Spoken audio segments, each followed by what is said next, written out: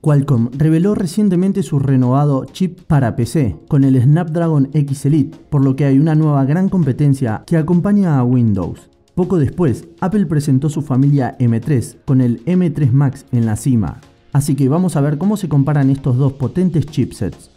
Desde el lanzamiento de Apple Silicon, la gama Mac ha liderado al proporcionar una potente combinación de rendimiento y eficiencia. Mucho crédito se debe a la transición de la tecnología ARM, Ahora Windows podría seguir el mismo camino. Será el nuevo Snapdragon X Elite el que podrá ayudar a Windows a ponerse al día.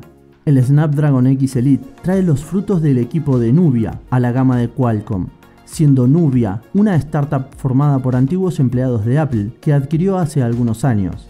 Pero, ¿qué significa esto para los usuarios? Vamos a profundizar un poco. Comparando directamente los números, el M3 Max ofrece una CPU de 16 núcleos frente a los 12 núcleos de la CPU del Snapdragon X Elite. Las especificaciones no lo son todo, pero esta diferencia parece haberle dado a Apple la ventaja. Podemos realizar algunas comparaciones preliminares a través de las pruebas proporcionadas por Qualcomm para el Snapdragon X Elite, las cuales deben tomarse con cautela, y una aparición temprana de Apple M3 Max en el sitio web de Geekbench a través de Night 5 Mac.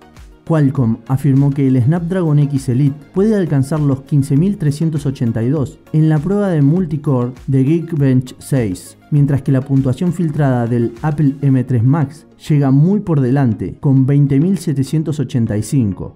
Estas pruebas ofrecen una indicación decente de lo que podemos esperar de la MacBook Pro de alta gama y futuros dispositivos Snapdragon X Elite, siendo probable que Apple se lleve el día en cargas de trabajo multinúcleo como la gestión de bases de datos complejas, renderizado, virtualización y más.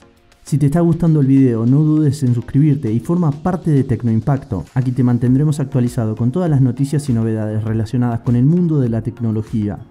Continuando con lo que estábamos, los primeros indicios de rendimiento multinúcleo parecen favorecer al chip principal de Apple, pero el rendimiento de un solo núcleo es menos distinguible.